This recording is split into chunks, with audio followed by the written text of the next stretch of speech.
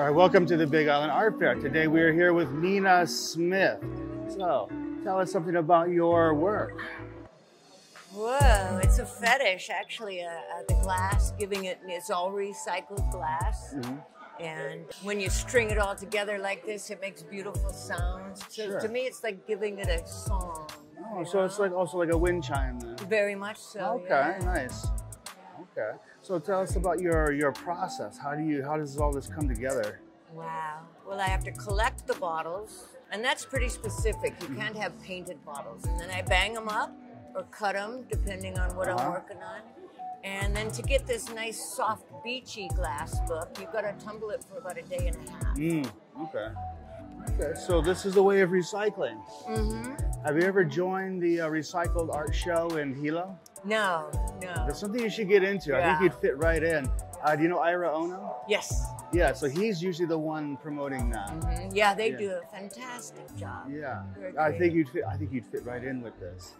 Yeah, very much. You should really consider doing that. So, uh, do you use a kiln? Uh, No, actually, this is resin.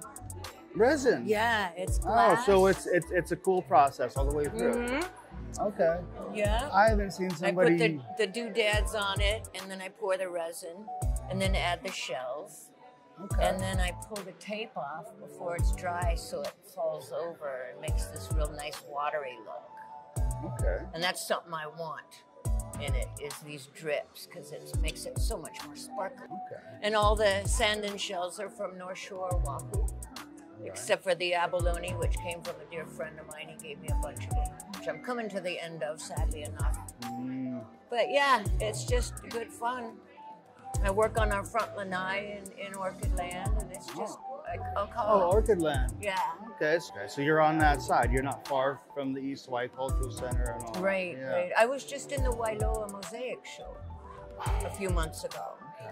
and my piece took second place out of a hundred. I was shocked, but it was great fun, great learning, and this is this has been really exciting. All these people, there's so much fun, and being around people that are of the same mind. You know that that's how you spend your time is It's yeah, letting it flow. It's There's something about a special. collective consciousness when it comes to getting inspiration. yeah.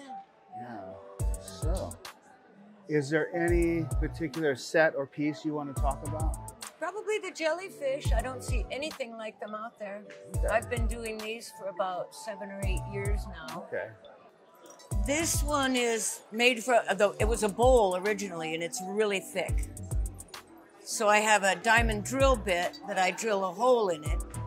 I've only broke two over the eight years I've been doing this. But um, each glass you use makes a different sound. And it's really fun to, to find out what's going to make a nice combination of sounds.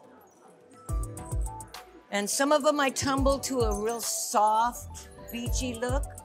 And some of them I leave whole so that it's really reflective and shiny.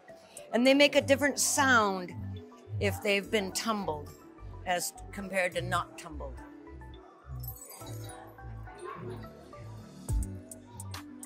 I like this one. It looks like a real liquidy like that. I like that. And I can also put lights in them, which is really fantastic at night. So, well, that's really cool stuff. Thank you for your time. Ah, it was a pleasure. Thank you.